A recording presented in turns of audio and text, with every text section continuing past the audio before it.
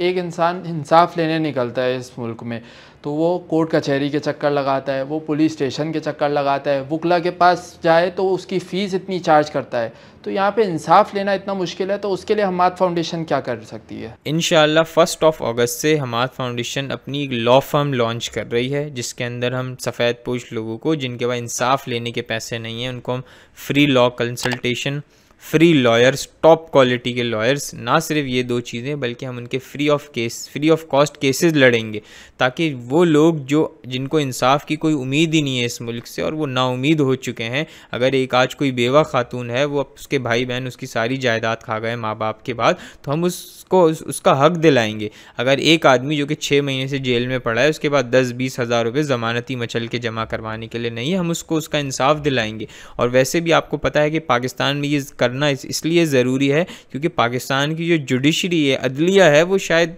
दुनिया में आखिरी नंबरों में आती है इंसाफ देने के हवाले से। तो हम ये कोशिश करेंगे जो इंसाफ की शायद उन्होंने कभी तो ही नहीं की लोगों ने वो हार चुके हैं उम्मीद हार चुके हैं नाउमीद हो चुके हैं पाकिस्तान से। हम उनके अंदर दोबारा जान डालेंगे और जो हमारा मिशन है transforming Pakistan by twenty fifty का उसको हम अचीव करेंगे इन शाला ये आपका अच्छा स्टेप है और हम उम्मीद करते हैं कि आप इसमें कामयाब हो।